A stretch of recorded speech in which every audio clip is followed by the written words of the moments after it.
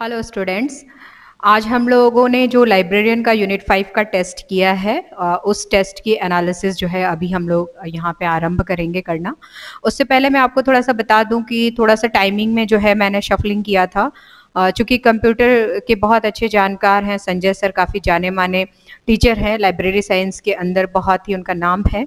तो उनकी आज जो है एक क्लास शेड्यूल थी 11 से 1 के बीच में, जिसमें वो यूनिट फाइव के कुछ क्वेश्चंस जो है वो स्टूडेंट्स को कराना चाह रहे थे एग्ज़ाम से जस्ट पहले। तो मुझे लगा आप लोगों के लिए ये बेनिफिशियल होगा, क्योंकि एग्ज़ाम से जस्ट पहले जो टेस्ट और जो कंटेंट प्रोवाइड किए जाते हैं, वो कहीं ना कहीं प्रतियोगी परीक्षा जो आप देने जा रहे हैं, उसके ऊपर ही फोकस्ड होता है। तो वो बहुत काम का होता है तो मुझे लगा सब्जेक्ट एक्सपर्ट हैं वो, और अपने यूनिट के अंदर जो है काफ़ी एक्सपर्टाइज उन्होंने वर्क किए हुए हैं। तो ये 20 क्वेश्चन जो आपके कंप्यूटर से रिलेटेड आते हैं उनमें कुछ ना कुछ आपको बेनिफिट मिल जाए। इस वजह से मैंने जो टेस्ट का टाइमिंग रखा था वो 11 बजे से लेकर 5 बजे तक रखा था कि अगर आप उनकी क्लासेस भी अटेंड करते हैं और 11 से एक का शेड्यूल है अगर दो भी बचता है तो आप दो से पाँच हमारे टेस्ट को इतमान से कर सके। आ, बट मुझे बहुत अच्छा लगा कि और जो हमारे टेस्ट हुए हैं उन टेस्ट में से आ, जो पिछले टेस्ट से अगर देखें तो स्टूडेंट्स की परफॉर्मेंस यहाँ पे जो है वो कुछ सही नज़र आई है। मैं बात करती हूँ all India mock test number 16 की। ये देखिए librarian all India full mock test 16 जो है ये हमारा पेपर जो है, आज हुआ है। आज यानी कि 14 सितंबर को 11 बजे से लेकर के 5 बजे शाम तक इसके करने का टाइमिंग था। अगर मैं एवरेज जो है, वो मार्क्स की बात करूँ एवरेज स्कोर की बात करूँ कि आज आप लोगों ने क्या गेन किया है तो 300 में से 136 नंबर जो है, वो एवरेज स्कोर आया है, जो कि मतलब एग्ज़ाम से जस्ट पहले अगर मैं ध्यान दूँ कि पाँच दिन बाद आपका एग्ज़ाम है और एग्ज़ाम से पहले ये स्कोर आ रहा है तो ये सेटिस्फैक्ट्री मार्क्स जो है ये नहीं है। ये मार्क्स नहीं होने चाहिए थे बट ये आए हैं। 225 स्टूडेंट्स ने जो है वो टोटल एग्ज़ाम को दिया है। कितने स्टूडेंट्स में से? सात हज़ार तीन सौ सैंतालीस में से एवरेज बी ग्रेड है, जो कि हमेशा एज यूजल ना तो आप ए में घुसते हैं, ना सी में घुसते हैं। बी ग्रेड हमेशा लेके आते हैं। और 41 मिनट्स जो है आपने एवरेज टाइम लिया है इस टेस्ट को करने के लिए। अगर हम रैंक के हिसाब से देखें तो रैंक वन जो है इस बार काफ़ी कम आए हैं। ये जो ग्रेड ए है, ये बहुत कम है। ग्रेड बी वाले स्टूडेंट्स जो है, वो ज़्यादा हैं। ग्रेड सी थोड़े से बी से कम हैं। ग्रेड डी उससे कम है। ग्रेड ई e भी हैं और एफ़ वाले तो सच में बहुत ज़्यादा हैं। आप लोगों को कंप्यूटर से या तो इंटरेस्ट नहीं है, या फिर आप लोग जो है पढ़ना नहीं चाहते हैं, या फिर आप लोगों को समझ में नहीं आता है। केवल और केवल मतलब लाइब्रेरी का पेपर आप देने जा रहे हैं तो पूरा फोकस्ड आप लोगों ने केवल जो है वो लाइब्रेरी के जो चार यूनिट है ना, उसमें झोंक के रख रखा है आपने, जो कि लिटरली बहुत गलत है, बहुत ही ज़्यादा गलत है। वो जो चार यूनिट हैं आपके, वो अस्सी नंबर के हैं। और यहाँ पे अगर मैं बात करूँ तो जीके आपका जो है राजस्थान, जीके जो हिस्ट्री और ज्योग्राफी है और कंप्यूटर मिला करके बात करूँ तो यहाँ पे सत्तर नंबर की बात है। तो अस्सी नंबर के लिए तो आप पूरे के पूरे तरीके से जो है वो डिवोटेड हुए जा रहे हैं और इन सत्तर नंबर की जो है आपको कोई परवाह ही नहीं है। तो ऐसे तो एग्ज़ाम होगा नहीं ना? एग्ज़ाम तो इन दोनों को मिला करके होगा। जिनके इन दोनों को मिला करके मार्क्स अच्छे आ रहे होंगे सिलेक्शन तो उसका होगा ना? केवल ये अपने को करके रखने से जो है थोड़ी ना सिलेक्शन हो जाएगा। तो अभी तो आप लोगों के पास समय भी नहीं है कि मैं आप लोगों को ये चीज़ बोलूँ कि आप ये भी पढ़िए, वो भी पढ़िए। इस वजह से मैंने जो शेड्यूल बनाया था, उस शेड्यूल के अंदर मैंने सब चीज़ों को डाला था कि आप सब चीज़ें साथ में लेकर के चलें। आप उसमें कहीं से भी किसी भी तरीके की चूक की गुंजाइश न रखें एग्ज़ाम से पहले की। बट मुझे अच्छा नहीं लग रहा है ये देखते हुए, क्योंकि ये मार्क्स नहीं होने चाहिए आप लोगों के। एग्ज़ाम से जस्ट पाँच दिन पहले हम लोग जो है वो डिस्कशन कर रहे हैं। और ये अगर मार्क्स आप लोगों के एवरेज स्कोर आते हैं सारे स्टूडेंट्स के तो ये बहुत मतलब अच्छा मार्क्स नहीं है, क्योंकि पेपर की जो क्वालिटी थी पेपर का जो अप्रोच था और जो पेपर बनाया गया है, वो बहुत ज़्यादा टफ भी नहीं है और बहुत ज़्यादा इजी भी नहीं था। वो बिल्कुल आपके जो एग्ज़ाम में जो क्वेश्चन आने चाहिए, जो आपका स्टैंडर्ड है एग्ज़ाम का, जो उसकी अप्रोच है, उसके अकॉर्डिंग ही बना हुआ था।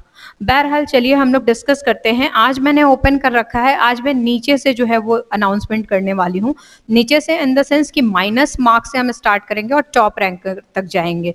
आप यहाँ पे मेरे पास रिज़ल्ट के अंदर देख रहे होंगे। नाम आ रहा है मार्क्स आ रहे हैं और उनकी ग्रेडिंग आ रही है।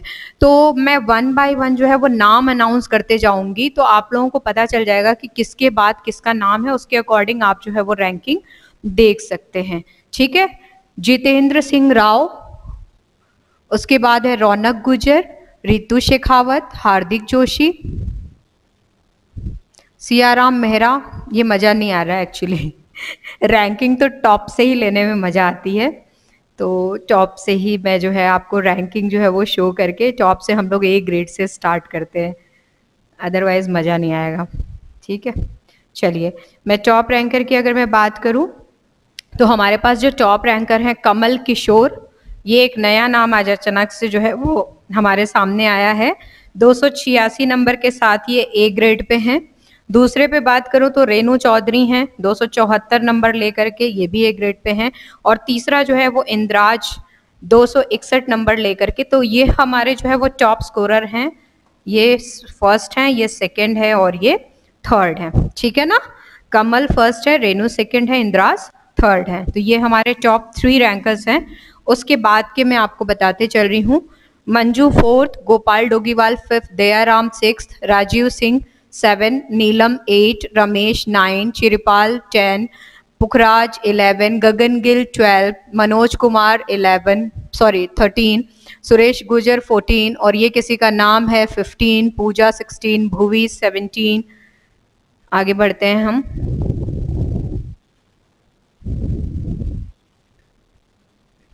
भुवी के बाद। Anil Dagur 17, Harimohan Saini 18, Madhumitra 19, Surendra 20, P K Yadav 21, Hitvi 22, Suresh 23, Ajay Sharma 24, Naurangi 25, Deepak 26, Kishan Meena 27, Shyam 28, Hemendra 29, Ramjat 30, then Suman Shekhawat 31, Suresh Kumar 32, Vinod Sharma 33, Suman 34, Vijay 35, Savri Ram 36, Prakash 37, Dilkhush 38, Priyanka Jahangir 39, Kshamata 40, Mukesh 41, Ashok Kumar 42, Virendra 43, Suresh Pal 44, Mukhtar 45, Ranjana 46, Lokesh 47, Prabha 48, Suresh 49, Pawan Swami fifty Sunita Goswami fifty one Mohan fifty two Kanta fifty three Deepak fifty four Bajrang fifty five Vitra fifty six Kavita fifty seven Geetesh fifty eight Ajay fifty nine Vinod sixty Priyanka sixty one Vikram sixty two Anurag sixty three Suresh sixty three Kamlesh sixty four Jagdish Patidar 65 Dinesh 66 Shivani 67 Lokesh 68 Ravi 69 Roshni 70 Milan 71 Balvindra 72 Bindu 73 Kamlesh Yadav 74 Kamlesh Kumar Meena 75 Ashok Kumar 76 Deepesh 77 Snehlata 78 Prakash 79 Usha Meena 80 Ananya 81 Mukesh Meena 82 Amit 83 Sunil Chaudhary 80 four Jeet 85 Sonia 86 Mayur 87 Mahendra Jogiwal 88 Gaurav 89 S K Chaudhary 90 Kusum 91 Shravan Bishnoi 92 Ganesh 93 Satnam 94 Ranveer 95 Ajit Kumar 96 Rocky 97 Manish 98 Anita Sharma 99 और मनोज कुमार मीणा 100 पे हैं।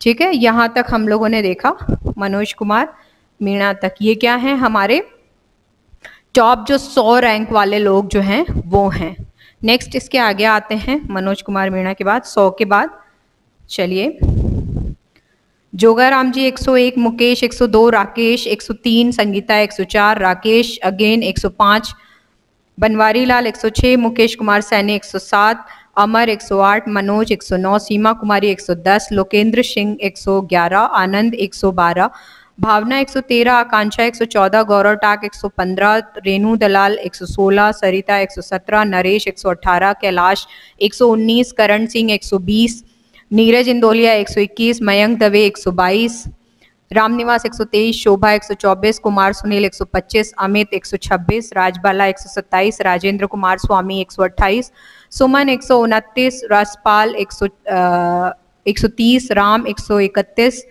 लखन सिंह 132 मोनिका शर्मा 133 मनीषा पारिक 134 प्रेम डांगी 135 शिवानी 136 रवि 137 राजू राम 138 पूजा झाला एक सौ उनतालीस शाहरुख खान एक सौ चालीस सिया एक सौ इकतालीस किरोरी लाल एक सौ बयालीस रामकिशोर एक सौ तैंतालीस आशा चौधरी एक सौ चौवालीस अंजलि चौधरी एक सौ पैंतालीस महेश एक सौ छियालीस पूजा एक सौ सैंतालीस इंदिरा धायल एक सौ अड़तालीस जतिन एक सौ पचास तुलसी शर्मा एक सौ इक्यावन जय श्री श्याम एक सौ बावन अनिल चौधरी एक सौ तिरपन टीकम एक सौ चौवन निमिषा एक सौ पचपन मोहन एक सौ छप्पन पर्वत एक संतावन सुरेश विष्णु एक सौ अट्ठावन जागृति एक सौ उनसठ ज्योत्सना एक सौ साठ भीम एक सौ इकसठ मनीषा शर्मा एक सौ बासठ परमेश्वर एक सौ तिरसठ जितेंद्र एक सौ चौंसठ जगदीश एक सौ पैंसठ नानू एक सौ छाछठ Kusum Indoliya I don't know क्या है ये कुसुम एक सौ सड़सठ अनुराधा दवे एक सौ अड़सठ भेरू एक सौ उनहत्तर मंजू एक सौ सत्तर गीता एक सौ इकहत्तर नवल एक सौ बहत्तर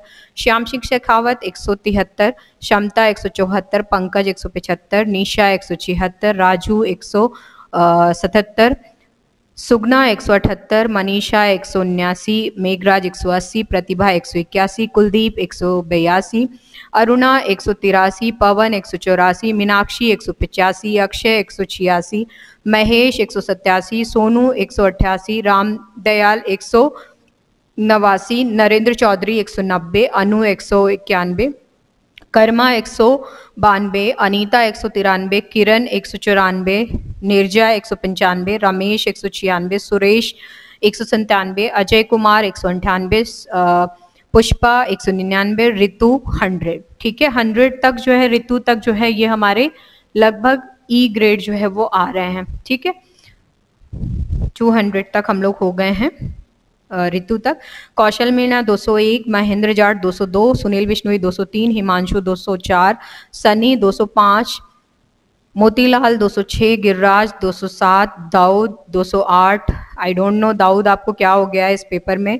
208 रैंक पे आप आ रहे हैं 16 नंबर ला रहे हैं जस्ट एग्ज़ाम से पहले this is not acceptable at all Satish 209 Prabhat 210 Hitendra 211 Samta 212 Rishabh 213 Rekha 214 Devram 215 Mahendra 216 Rajkumar 217 Indrajit 218 Siyaram 219 Hardik 220 Ritu 221 Raunak Gujar 222 और जितेंद्र सिंह राव 223 ठीक है 225 बच्चे हैं। अब दो बच्चों की लिस्ट कहाँ गई? आई डोंट नो तो ये जो है आप लोगों का जो है ये रैंक uh, का जो है वो मैंने एक्सप्लेनेशन कर दिया। uh, कुछ बातें मैं आप लोगों को बताना चाहती हूँ। uh, उसको आप लोग थोड़ा सा ध्यान में रखिए। जितने भी पेपर अभी ये पाँच मैंने आपको यूनिट वाइज करा दिए हैं ये पेपर मैं अभी जस्ट ओपन कर दूँगी। अनलिमिटेड अटेम्प्ट के साथ जो है वो उन्नीस तारीख तक के लिए ओपन रहेगा। आप कितनी बार भी इनको करेंगे। जो पहले के पेपर्स हैं कुछ पहले के भी पेपर्स हैं आ, मैं एक्चुअली पहले के पेपर्स भी काफ़ी ओपन करना चाह रही थी आप लोगों को करने के लिए लेकिन पता नहीं क्यों आ, मुझे नहीं पता कुछ ऐसे लोग हैं जो बार बार मुझे मैसेजेस करते हैं कॉल करते हैं और पता नहीं उनको उनकी बातों से मुझे ऐसा फील हो रहा था जैसे वो चाहते नहीं है कि मैं ये पेपर कराऊं या उनकी बातों को सुन करके मैं गुस्से में आऊँ और ये टेस्ट पेपर बंद कर दूँ। बट मैंने ऐसा किया नहीं मैंने अप, अपना शेड्यूल आपको बनाया शेड्यूल के अकॉर्डिंग मैंने पूरा पेपर आप लोगों को कराया शांति से कराया। जबकि उनके बहुत सारे मैसेजेस ऐसे भी आते हैं कि ये क्वेश्चन गलत है, वो क्वेश्चन गलत है, कहाँ से उठा लेते हो, ये कर लेते हो, वो कर लेते हो, फिर फ़ोन करके क्लैरिफाई भी करते हैं, फिर उनको ये कहा जाता है कि ये क्वेश्चन हमने उठाए हैं तो आगे से ही गलती होगी। एंड लिटरली वो लोग इतना अनाप शनाप बोलते हैं जो बिल्कुल मतलब सुनने में अच्छा नहीं लगता है। और एक बार को गुस्सा आ ही जाए कि छोड़ो, हम नहीं कराते हैं। बट ये सब चीज़ें मैंने काफ़ी कंट्रोल की। मैंने कहा कि ये चीज़ें इसीलिए की जा रही है। इधर किसी कोचिंग वाले का ये काम है और नहीं तो लाइब्रेरी के किसी टीचर के द्वारा ये काम किए जा रहे हैं, जिससे मैं आप लोगों को ये टेस्ट ना कराऊं और उनकी, उनका वर्चस्व जो है वो बढ़े। मुझे नहीं पता लोग क्या सोचते हैं, क्या करते हैं। बट मैंने कोशिश की कि मैं अपने कार्यों में, मैं आप लोगों के साथ जो दो ढाई साल पहले से जो मैं लगी हुई हूँ, मेरा साथ जो है आप लोगों के साथ यूँ ही बरकरार रहे और यूँ ही जो है आप अच्छे तरीके से करें। पाँच दिन का समय है, चार दिन का समय है। अब आपको जितना एफर्ट लगाना है, आप लगा लें। आप अच्छे तरीके से पेपर कीजिए। बस भगवान करे कि आप जितने भी लोग हैं जिनको ज़रूरत है, जो लोग एक्टिव हैं और जो लोग इस पोस्ट को डिजर्व करते हैं, वो सभी लोग सिलेक्ट हुए तो मेरी शुभकामनाएँ आप लोगों के साथ है। आप लोग वो टेस्ट कीजिए। मैं जो अभी हो चुके हैं, कुछ पेपर्स में ओपन कर देती हूँ, जितना मुझे मिल जाता है, मैं उसको ओपन कर देती हूँ। आप लोग जो है उसको कीजिए। और दूसरा मुझे एक चीज़ और बोलना था, मैंने एक टेस्ट पेपर जो है वो यूनिट वन का पेड जो है वो स्टोर पे डाला हुआ था, जिसकी कॉस्टिंग तीन सौ थी। Uh, मैं उसको बिल्कुल मिनिमम प्राइस पे ला रही हूँ। उसके मिनिमम प्राइस का जो है वो टेन रुपीज़ का जो है वो कोट किया हुआ है। तो मैं उसकी प्राइसिंग अभी जो है वो टेन रुपीज़ कर देती हूँ। तो आज और कल के लिए जो है वो टेन रुपीज़ प्राइस उसका रहेगा। तो अगर आपको लगता है कि फ़र्स्ट यूनिट का आपको जो है वो ज़रूरत है क्योंकि वो क्वेश्चन बहुत बेहतरीन बने हुए हैं। कहीं से कॉपी पेस्ट नहीं है, बनाए गए क्वेश्चन से तो अगर आपको लगता है तो आप वो परचेज कर सकते हैं स्टोर पे जा करके। तो दस रुपये की कॉस्टिंग कोई बहुत ज़्यादा नहीं है, और प्लीज़ इसके लिए आप मुझे फ़ोन नहीं कीजिएगा, ना मैसेज कीजिएगा कि आप गरीब हैं, मैं अमीर हूँ। तो ये सब किस्सा मत रखिएगा। एग्ज़ाम से पहले अगर आपको ज़रूरत है तो आप दस रुपये पे कीजिएगा। नहीं ज़रूरत है तो कोई बात नहीं, इतने सारे मैंने फ्री में टेस्ट करा दिए हैं, आप उनको ही कर लीजिए। ठीक है ना? मैं क्योंकि बिल्कुल फ्री जो है उसको स्टोर पे जो गया है उसको कर नहीं सकते। मिनिमम प्राइस को टेन रुपीज़ है तो मैं उसको कर देती हूँ। अगर आपको ज़रूरत है तो आप वहाँ से ले लीजिए। नहीं तो कोई बात नहीं, इतने सारे फ्री के टेस्ट सीरीज़ हैं, आपके पीडीएफ आपके पास जो है वो पड़े हुए हैं। इन सबको भी अगर आप रिवाइज करते हैं तो मुझे लगता है आपकी तैयारी बेटर होगी। सो आप कीप इट अप तैयारी कीजिए और जो फुल मॉक टेस्ट का शेड्यूल मैंने दो शायद आपको डाल रखा है, वो मैं नहीं कराऊँगी। जितने टेस्ट अभी हो गए हैं, आप इन्हीं को कीजिए। नए नए टेस्ट में कहीं कन्फ्यूज़न ना हो जाए। तो वो दो टेस्ट अब नहीं होंगे क्योंकि अब इतना समय नहीं रहा है। जितना हो चुका है आप उसको रिवाइज करें। बाकी कोई अगर दिक्कत है, कोई परेशानी है, आप मुझसे बात कर सकते हैं। एनी टाइम कभी भी आप मुझे कॉल कर सकते हैं। Thank you so much bye